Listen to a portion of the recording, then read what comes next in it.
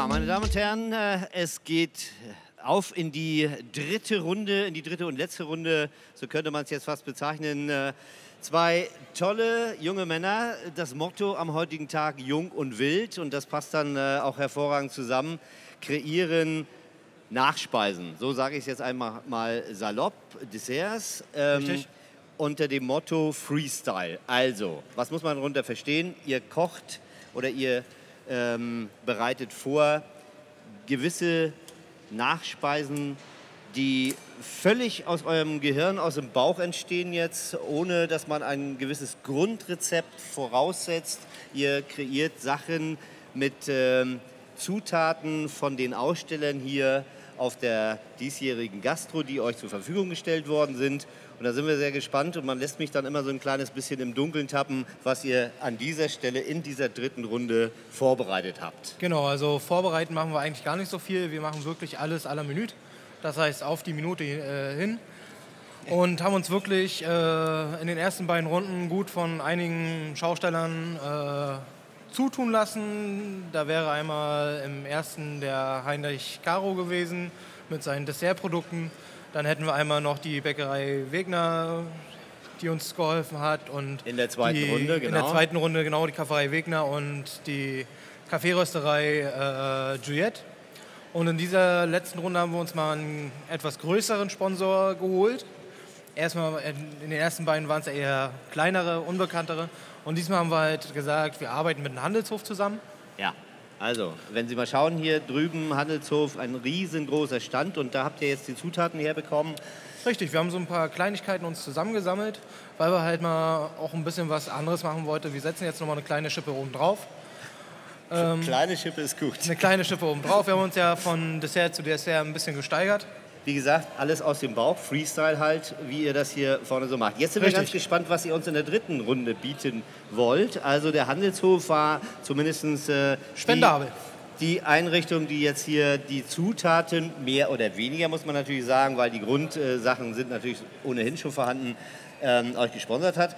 Und was die beiden Jungs aus dem Seehotel Sternberg jetzt sich wieder ausgeheckt haben, so sage ich es einfach mal, weil man lässt sich, mich da immer so ein kleines bisschen im Dunkeln tappen, ähm, das erleben wir jetzt. Na, es macht doch viel mehr Spaß, wenn du im Dunkeln tappst. Genau. so, Pass auf, wir haben äh, ein paar mehr Komponenten diesmal. Wir machen ein, eine gebackene Creme von der weißen Schokolade. Dazu kommt ein äh, Rotweingelee. Dann haben wir noch ein Papaya-Chutney. klingt alles sehr vielversprechend. Von, das kommt alles von meiner Seite. Dann von Tobi haben wir dann Honigwaben. So ein, Ho Honigwaben. Nennt man auch französische Hippe.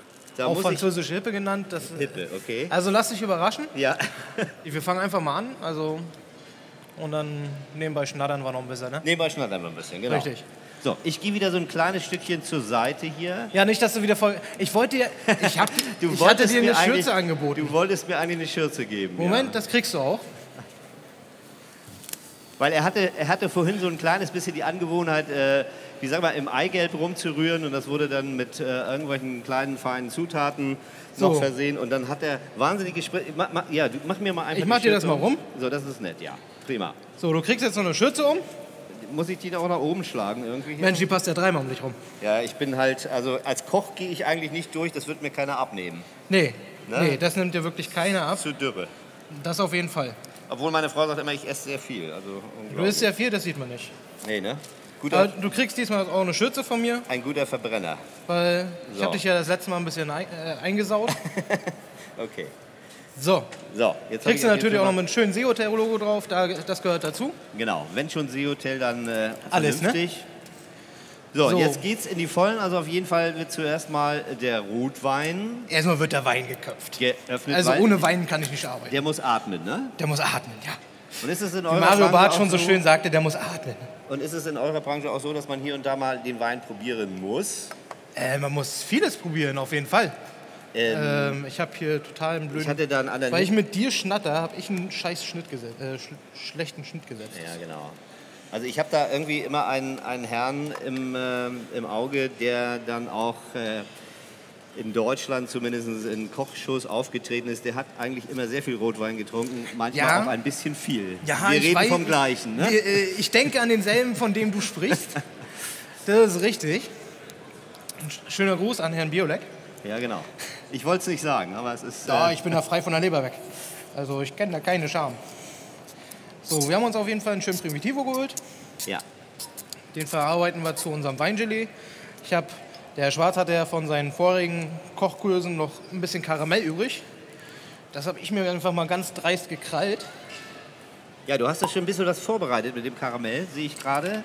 Ja, wie gesagt, das hat er ja schon schön vorbereitet gehabt. Das habe ich mir einfach mal zugute getan und habe mir das geschnappt. Und jetzt sah das ebenso aus, als würde du den Rotwein dort reingießen willst.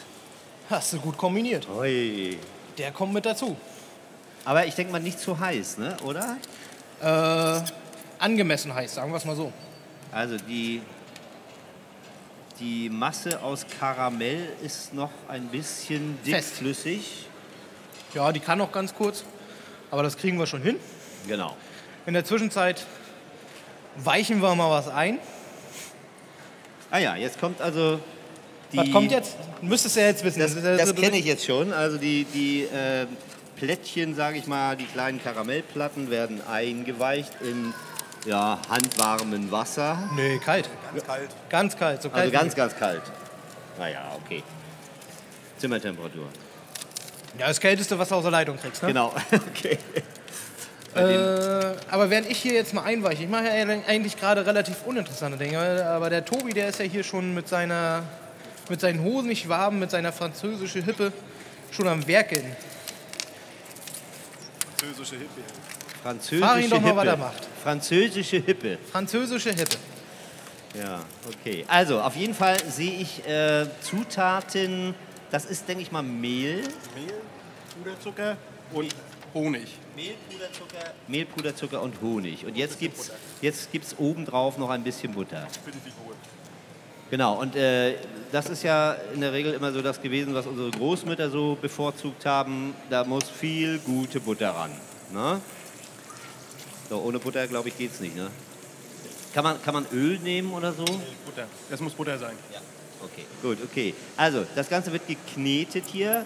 Das macht er per Hand. Genau. Und jetzt wird nichts warm gemacht. Erstmal nicht. Nee, das wird dann im Backofen wird das dann abgebacken. Bei 180. Bei 180 Grad wird es abgebacken. Okay. Also er, er rührt hier und das macht er alles mit seinen bloßen Händen. Das ist unglaublich. Und jetzt schauen wir mal, was auf der anderen Seite passiert. Hier sehen Sie es, meine Damen und Herren, schon im Hintergrund. Was hast du da jetzt gerade zugetan? So, ich bin jetzt schon schon mal fast ein, zwei Schritte weiter. Ja. Ich habe natürlich meinen Zucker wieder flüssig gemacht, den Karamell. Mit Wein abgelöscht und dann noch ein bisschen Vanille dazugegeben. Und bereite jetzt quasi schon meine gebackene Mousse vor, Ja. meine gebackene Creme. Und das ist jetzt, das ist jetzt Butter und Das ist Vorbereitung für die gebackene Creme. Das ist jetzt weiße Schokolade und Butter. Ah ja, sehen aus ein bisschen wie Smarties hier, nur nicht bunt, Schmeckt auch fast weiß. so. Sind, ist weiße Schokolade halt. Ist weiße Schokolade, ganz handelsübliche weiße Schokolade. Also du, aber erhitzen tust du das jetzt in diesem Fall nicht, ne? doch, das wird noch jetzt. Ja, danach, aber jetzt, jetzt im Moment. Jetzt gerade noch nicht, also da ist keine Hitze. Ich habe hier bloß meine, äh, meine, meine kleine Platte. Ich dachte, jetzt gibt es Probierhäppchen hier. nee. Okay. So, das Ganze geht jetzt erstmal ein paar Minütchen in den Ofen. So, du hast jetzt schon wieder, das ist was mit Ei, denke ich mal, oder? Ja. Ich habe hier fünf Eier drin. Fünf. Die schlage ich ein bisschen mit Zucker auf, damit das eine schöne cremige Konsistenz kriegt. Kommt dann noch Mehl dazu, Milch. Dann Also würde, würde fast so ein bisschen sein wie, wie Kuchenteig. Kann, das, es kann wird man das so ein leichter Kuchenteig, bloß der Mehlanteil wird geringer sein. geringer? Okay. Und normalerweise würde ich Puddingpulver benutzen, aber ich habe keins mit. Also ein bisschen improvisieren. Ist halt Freestyle, ne? Ist halt Genau. Freestyle, also man kann nicht alles da haben. So, das Ganze halt ein bisschen schön aufschlagen. Milch dazu nachher äh, und mein Ei, ach Quatsch, Butter und Schokoladengemisch dazu. Wie lange musst du das jetzt, bis es eine, eine feste Konsistenz hat? Ich möchte schon eine schöne, cremig, feste Konsistenz haben. ja. Warte natürlich darauf, dass meine mein Butter-Schokoladengemisch auch kalt. Äh, Ah ja, das ist nebenbei auflöst. da noch ein bisschen am Köcheln. Richtig. Und die Butter muss sich total auflösen, ganz klar. Also es sollte schon irgendwo dann eine homogene Ma Masse geben, die beiden Sachen. Was machst du jetzt hier gerade? Das ist immer noch dieses Karamell, ist es. Dieses Isomalt. Also, das ist also praktisch unser Isomalt, äh, das wir, wa- was wir jetzt einmal erhitzt haben und jetzt das auch schon so ein bisschen nicht die, ähm, sag schnell, die, die, die, die dunkle bräunliche Färbung kriegt. Genau. Und der Thomas ist hier am Kämpfen. Genau. Ein sehr hoher Geräuschpegel jetzt mittlerweile hier. Ja, es dauert halt seine Weile, bis man alles aufgeschlagen hat und zusammengeschlagen.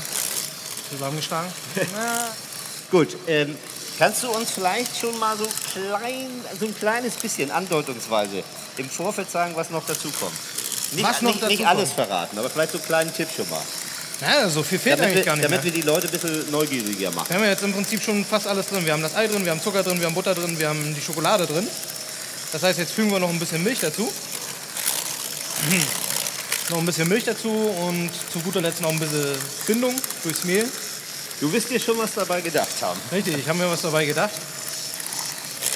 So, und äh, wir hatten ja im Vorfeld gesagt, ähm, als wir nach Ende der zweiten Runde, äh, als ihr nochmal losgegangen seid und habt euch äh, von den Ausstellern hier die Zutaten, ähm, ja, wie sagt man, Besorgt. besorgt, Ja, besorgt. ne? kann man einfach mal so besorgt. sagen. Da wusstet ihr eigentlich selber noch gar nicht, was, wir, was ihr heute jetzt kre- kreiert Nee. in der dritten Nee, Runde. überhaupt nicht. Keine Ahnung. Also, wir sind wirklich auf blauen Dunst losgezogen und haben uns erst während des Losziehens wirklich einen Kopf gemacht, was wir machen. Das muss man sich mal, das muss man sich mal äh, äh, vorstellen und das muss man wirklich mal sacken lassen. Ähm, man geht los, schaut, was hier auf der Messe für Zutaten da sind, was man verwenden könnte und dann reift im Kopf in Windeseile so eine Idee und die wird dann hier einfach in unserem Dehoga Kochstudio Richtig. umgesetzt. Richtig. Es ist auf jeden Fall toll, dass ihr euch diese ähm, Herausforderung stellt. Ich finde es einfach mal überwältigend, dass man sich traut, äh, diese und jenen Sachen zusammenzubringen. Macht natürlich auch Spaß, euch zuzuschauen. Und jetzt schauen wir noch mal auf diese Seite. Ähm, du gibst das jetzt in Formen, Ich habe hier so kleine Förmchen vorbereitet. so wie, die habe ich so eine kleine vorher, Puddingform, ne? richtig, die habe ich vorher eingesprüht. Das ist ein normales Trend, also ist ein normales Pflanzenfett, das halt in Dosen abgefüllt wurde, mit unter, das unter Druck steht.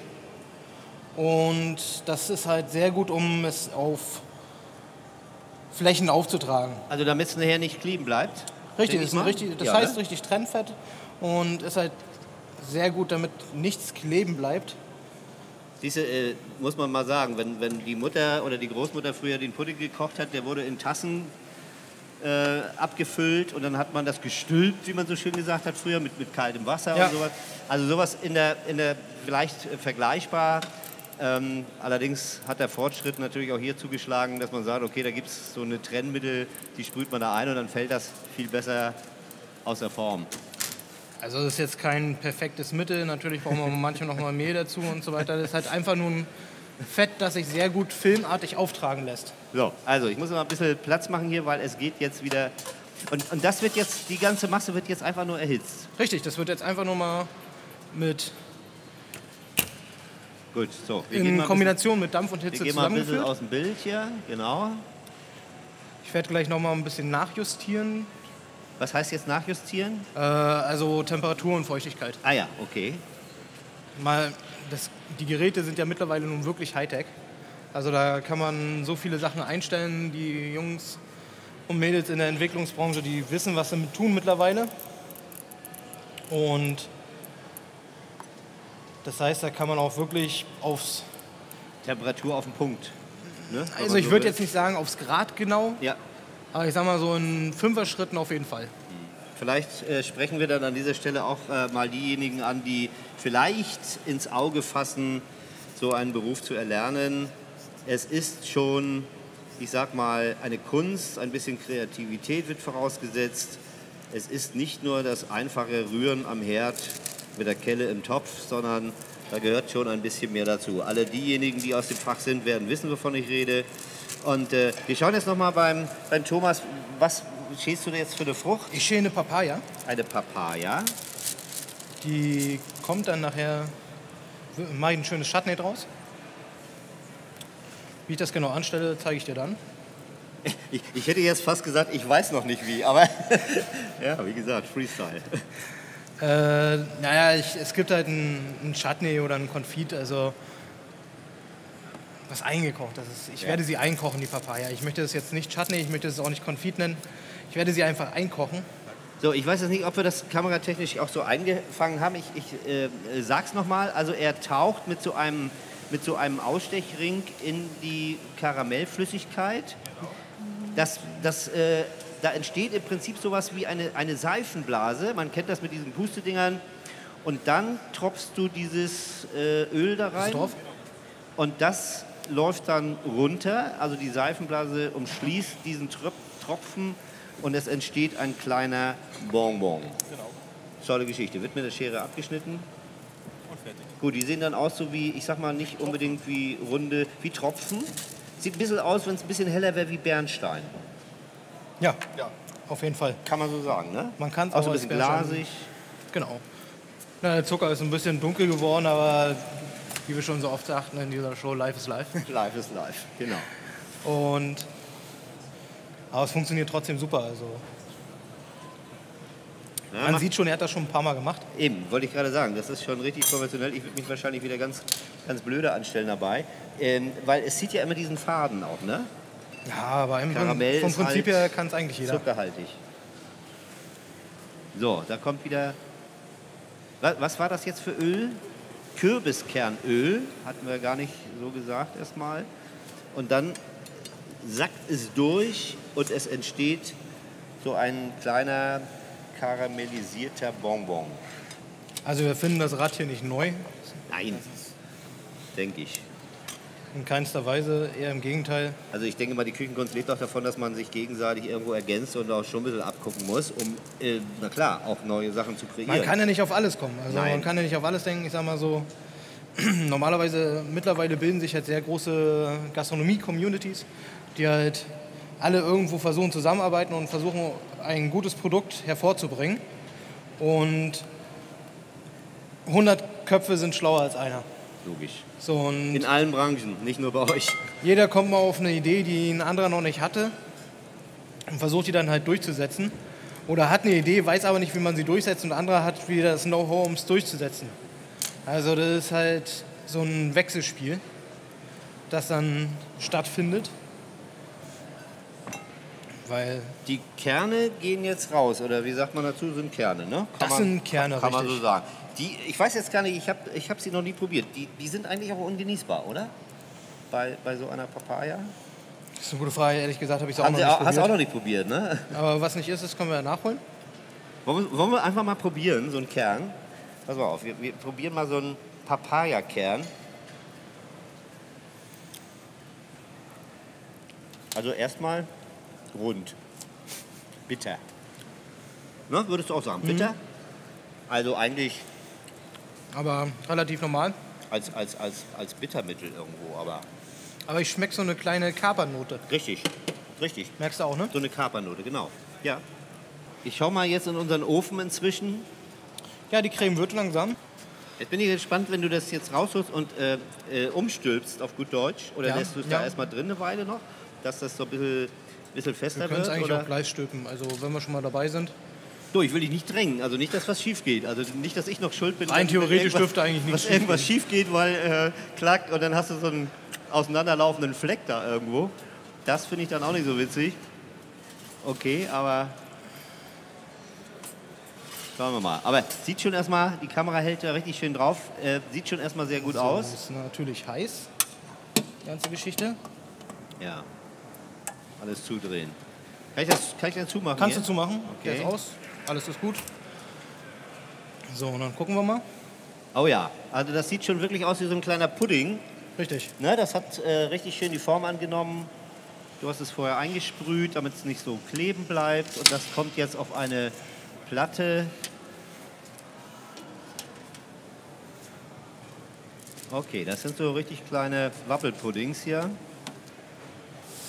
Daneben werden jetzt unsere Früchte, also in diesem Falle die Papaya, erhitzt Gibst du da noch irgendwas zu, äh, Thomas? Orangensaft sehe ich. Äh, ist der Multivitaminsaft, worauf Das ist wieder der- die Pärchen Der gemacht haben. Multisaft, genau. So, Das löschen wir hier mal ein bisschen ab. So, jetzt dampft hier schön. Ja, das darf auch ruhig immer sein, ne? Ich hoffe, dass die Rauchmelder stabil sind hier drin. Och, eigentlich sind das eher meistens Hitzemelder hier in der Gegend. Wird schon. Ich hoffe es zumindest, dass es hier Hitzemelder sind. Und äh, jetzt kriegst du schon so ein bisschen. Also du hast jetzt äh, die Früchte und ist da noch eine Art Fett? Also Karamell sehe ich auf jeden nur Fall. Karamell. Nur Karamell. Kein Fett, also kein gar nichts. Fett, kein nix. Okay. So, noch ein bisschen Limettensaft dazu. Also unser Limettenlikör von Monin. Ah ja. Darf man ja ruhig mal Also dazu Sie, sagen. Sie sehen auch ähm, bei den Köchen beziehungsweise ja alle, die irgendwas mit Gastronomie zu tun haben, so ein bisschen Likör oder so ein bisschen Sirup. äh, Sirup in welcher Form auch immer mit äh, vielleicht hier und da einen kleinen Anteil Alkohol ist. Nee, äh, diesmal gar nicht. Also Diesmal der nicht, nee? Ich habe hier. Ja, weil du gesagt hast Likör. Ja, ich habe mich versprochen. Entschuldigung. Soll halt eine kleine cremige Soße außenrum sein dann nachher. Deswegen lösche ich immer mal wieder ein bisschen ab. Wie wir das von zu Hause kennen, mit dem Ablöschen, genau. Genau, bloß ich halt ohne Alkohol heute. Meine Frau hat gesagt, meine Soßen schmecken eigentlich auch gut, besser als der Rest. Doch, die Soßen kriege ich immer ziemlich gut hin, das ist unglaublich. Ja, das ist wichtig. Soße Das ist mit dem das Wichtigste, Ablöschen und so, ja, das passt schon. So, und das Ganze mit Multivitaminsaft. Ne? Richtig? Also Sie merken auch schon, klar, hoher Zuckeranteil, bedingt durch Karamell und ähm, Fruchtzucker natürlich auch von der Papaya dabei, ganz klar. Und trotzdem ganz ohne Fett.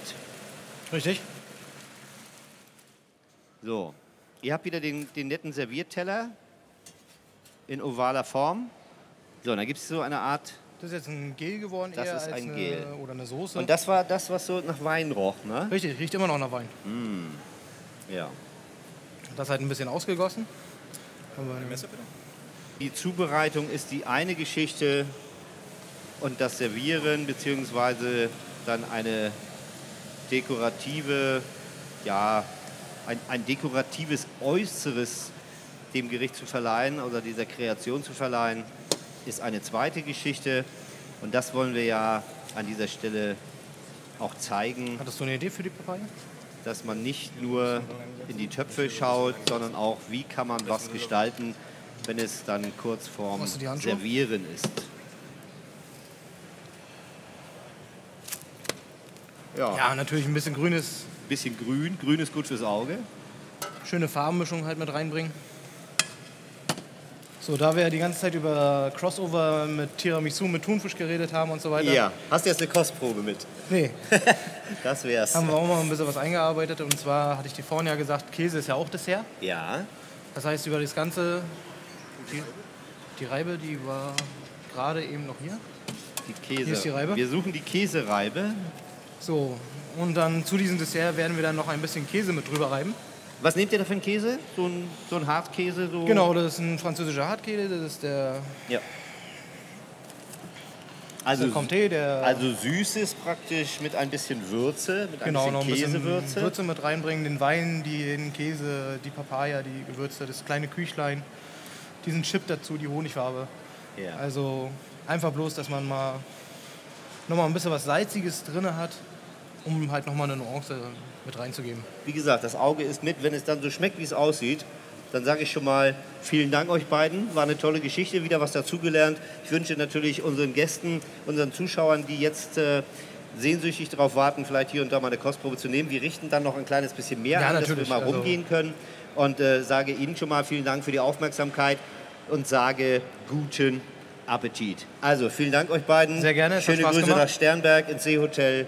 Schön, dass ausrichten. Sie auf der Gastro in diesem Jahr dabei waren. Wir haben zu danken, auf jeden Fall hat uns sehr viel Spaß gemacht. Vielen Dank.